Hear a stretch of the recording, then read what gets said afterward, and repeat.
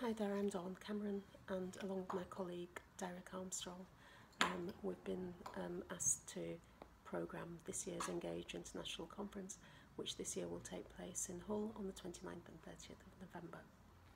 We're really excited to have this opportunity, not least because it feels like a, a issues of inclusion and diversity and cohesion um, are particularly important to sort of reflect upon at a time when uh, things um, in lots of ways are feeling really quite divided and turbulent and difficult um, to put it mildly.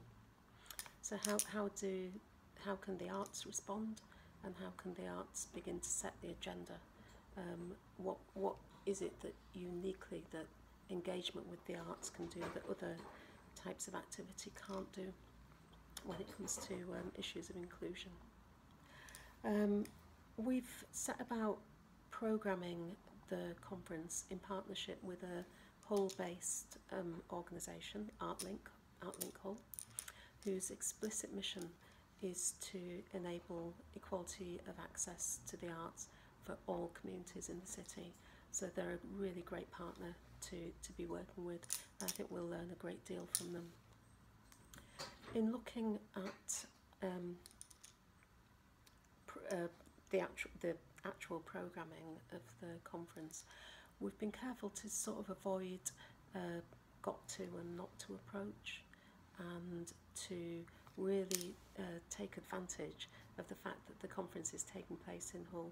Um, Hull is a city whose tenure as City of Culture has been really distinguished by the fact that it's um, the level of engagement that it's been able to um, secure from communities right across the city. So we've got tons to learn from the city and from its artists and arts organisations.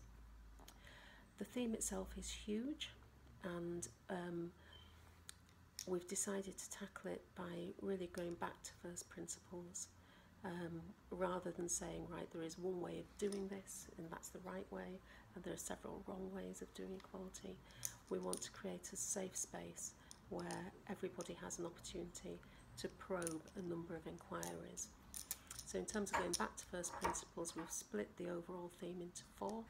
So the four themes are as follows, apologies for the cat. Um, the first theme is what do we talk about when we talk about diversity?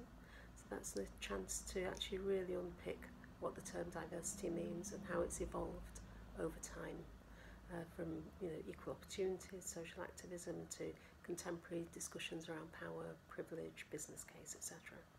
The second theme is nothing about us without us is for us, and that's very much looking at uh, who needs to be in the room when we have these discussions. The third theme is setting the agenda. So once we know what we're talking about and who's in the room, how do we decide what it is we talk about? And finally, the fourth theme is are we there yet? How will we know when we get there?